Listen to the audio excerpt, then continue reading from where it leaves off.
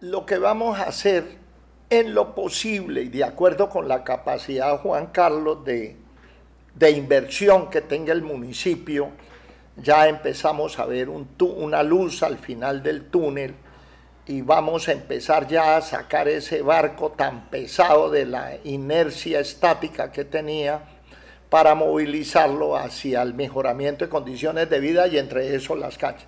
Las canchas son las como las que usted ya conoce en Estoraques y en Esperanza 3, que tendrán una estabilización del piso, una placa de concreto de 10 centímetros reforzada y encima un tapete que cumpla las especificaciones de la FIFA para esos eventos.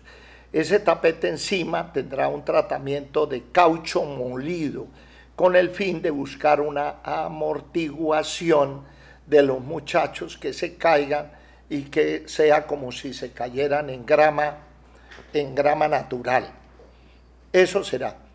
Con respecto a lo del mutis, que es para adultos, pues vamos a arreglar la cancha, mejorarle la iluminación.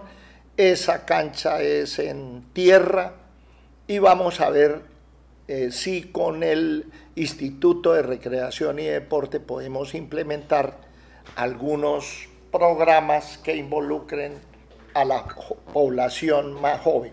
Pero es que quiero hacerle, Juan Carlos, una, una aclaración. El instituto solamente atiende niños, el de, el de Bucaramanga. Y el de Santander, el INDER Santander, atiende jóvenes porque eso ya es competitivo.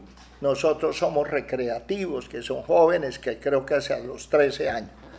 Entonces, esa población se va a dedicar a entrenarse en canchas pequeñas, porque las canchas grandes para un niño de 5, 6, 7 años, eso es totalmente imposible. También quiero comentarles que tenemos tres fundaciones.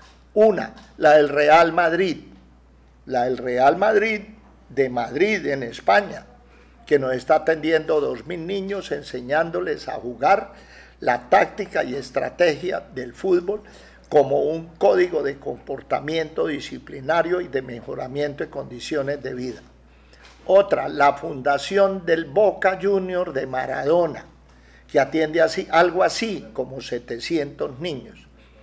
Otra, Colombianito, dirigida por nuestra paisana Ángela Patricia Yaniot, que atiende otros 700 muchachos y tengo entendido que hay otra que se llama Goles para la Paz, que no tengo exactamente el número de, de muchachos que va a atender. Eso lo paga la alcaldía. Es un programa donde están invitados todos los muchachos que vivan en las zonas más pobres. A ver si sacamos un mes y de ahí.